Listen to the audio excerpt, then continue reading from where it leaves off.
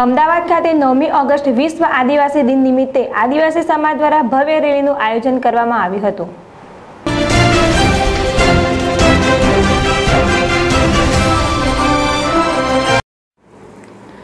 નવ ઓગસ્ટ વિશ્વ આદિવાસી દિવસ તરીકે ઓળખવામાં આવે છે અને દેશભરમાં આદિવાસી લોકોના વિવિધ સમાજ દ્વારા તેની ઉજવણી કરવામાં આવે છે. રાજ્ય, શહેર, ગામ તેમજ સોસાયટીમાં દરેક સમાજના લોકો વસવાટ કરતા હોય છે. એક સમયે નીચના ભેદભાવ એક સમયે જોવા મળતા હતા. પરંતુ સમયની સાથે લોકો બદલાયા છે અને એક બન્યા છે. અને આ પ્રથા હવે ક્યાંક લગભગ જોવા નથી મળતી. દરેક સમાજના લોકો આજે એક બની તમામ વાર હોય કે તહેવારો ભેદભાવ ભૂલી સાથે ઉજવણી કરતા હોય છે. ઓગણીસો ચોસઠની વર્ષમાં સંયુક્ત રાષ્ટ્રસંઘ દ્વારા નવમી ઓગસ્ટને આંતરરાષ્ટ્રીય આદિવાસી દિવસ તરીકે જાહેર કર્યો હતો. દુનિયાભરની સરકારો અને સ્વૈચ્છિક સંસ્થાઓ આદિવાસીઓના પ્રશ્નોથી વાકેફ થઈ તેમના ગૌરવ અને રક્ષણ માટે પ્રતિબદ્ધ થાય.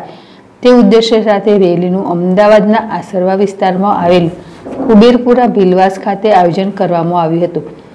જેમાં ચાલુ વરસાદ દરમિયાન અમદાવાદ શહેરના ચાર આઈપીએસ અધિકારીઓ પણ ઉપસ્થિત રહ્યા હતા. આ ચારેય અધિકારીઓ દ્વારા ઝંડી બતાવીને આદિવાસી સમાજની રેલીની શરૂઆત કરાવી હતી. જેમાં આદિવાસી સમાજના અગ્રણીથી રહી બાળકો, આધેડ ઉમેરના વૃદ્ધો પણ રેલીમાં જોડાયા હતા અને આ રેલીનો ઉદ્દેશ સમાજમાં આદિવાસી લોકોને પોતે પણ એક સમાજનો જ એક ભાગ છે અને તેઓને પણ પોતાના પ્રશ્નોને રજૂ કરવામાં આવતા સરકાર દ્વારા તેનો ઉકેલ કરવામાં આવે છે. તે સાથે સાથે તેમણે પ્રધાનમંત્રી મોદી તેમજ અમિત શાહ સાથે સરકારનો પણ આદિવાસીઓ માટે વિવિધ યોજનાઓનો અમલી બનવા માટે આભાર વ્યક્ત કર્યો હતો.